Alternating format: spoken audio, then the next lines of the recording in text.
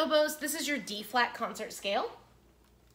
And we're gonna start on our low D flat, which is one, two, three, one, two, three, and this little bulby key that's in the middle.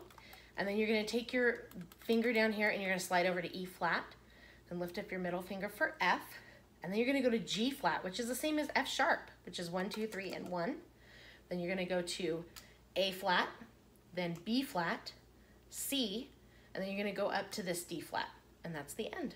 And back down to C, B flat, A flat, G flat, F sharp, F, this guy, E flat, and then back over to D flat, okay? Now, in the arpeggio, you go from D flat to F. I would recommend using this fingering for F, which is one, two, and this little key right here in between. Use that F, and then A flat, high D flat, A flat, F, and D flat. Okay, so when you play it, it'll sound something like this.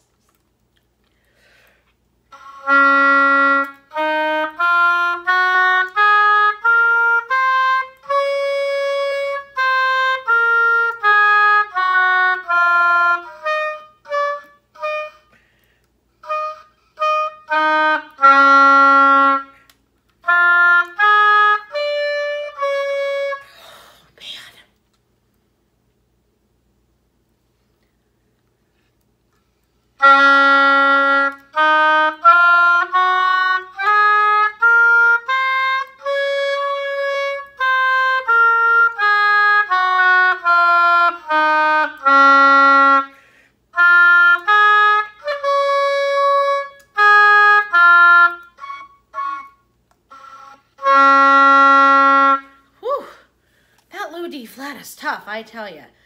And I get sometimes leaky fingers up here. So if you find that you're getting that sound like I did, might be because one of your fingers is leaking. So just check the angle of your horn, your oboe, and check your fingers to make sure they're not leaking. Let's try it together. Here we go. One, two, are ready?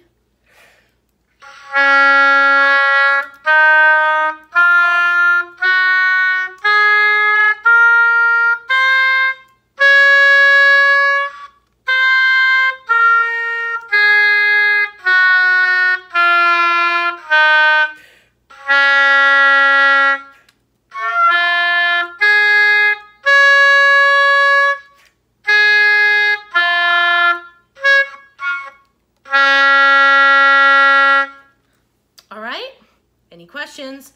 Email me. I bet you can even do this better than me. You got this, oboes. I believe in you.